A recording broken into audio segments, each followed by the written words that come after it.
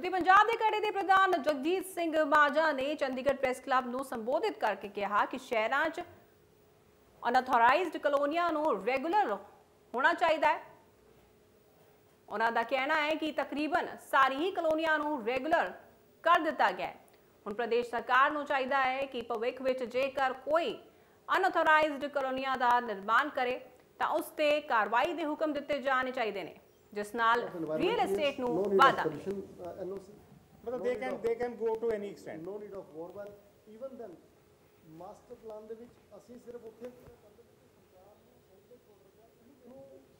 Regular ਕੰਮ ਕਰਨ ਵਾਲਿਆਂ ਨੂੰ ਲੀਗਲ ਕੰਮ ਕਰਨ ਵਾਲਿਆਂ ਨੂੰ ਇਲੀਗਲ ਕੰਮ ਕਰਨ ਵਾਲਿਆਂ ਨਾਲ ਸਾਨੂੰ ਕੰਪੀਟ ਕਰਨਾ ਪੈਂਦਾ ਹੈ which is a big challenge for us that is the only issue ਉਹਦੇ ਨਾਲ ਕੀ ਹੈ ਉਹ ਅਨਪਲੈਨਡ ਗਰੋਥ ਵੀ ਹੋ ਰਹੀ ਹੈ ਨਾਮ ਵੀ ਬਦਨਾਮ ਹੋ ਰਿਹਾ ਹੈ ਸਰਕਾਰ ਦਾ ਵੀ ਬਿਲਡਰਸ ਦਾ ਵੀ ਇੱਕ ਐਸਾ ਆਦਮੀ ਜਿਹੜਾ ਕਿ ਐਕਚੁਅਲ ਬਿਲਡਰ ਹੈ ਹੀ ਨਹੀਂ, ਉਹ 10-12 ਪਲਾਟ ਲੈ ਕੇ ਉਹਦੇ ਤੇ ਅਨਆਥੋਰਾਈਜ਼ਡ 3 ਸਟੋਰੀ ਫਲੈਟਸ ਬਣਾ ਕੇ ਖੜੇ ਕਰ ਦਿੰਦਾ ਹੈ। ਨਾਮ ਤਾਂ ਉਹਦਾ ਵੀ ਬਿਲਡਰ ਆ ਜਾਂਦਾ ਹੈ।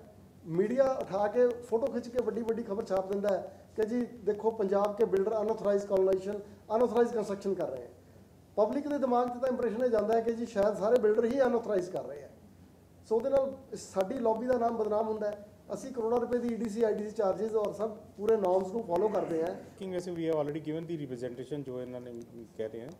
तो they are working on it तो ओदे वास्ते असी रूटीन च करते रहेंगे मीडिया में कि policy I think some good policy will come on E W S देखो बोथ आर देयर क्योंकि E W S is non unsettled housing they which भी ईडब्ल्यूएस इज़ आज की डेट च है असी ट्रांसफ़र की लैंड सारे ने करती है ਉਹ ਉਹਦੇ ਤੇ ਦੇ working on this policy from last 2 months sincere effort is made by the technocrats and the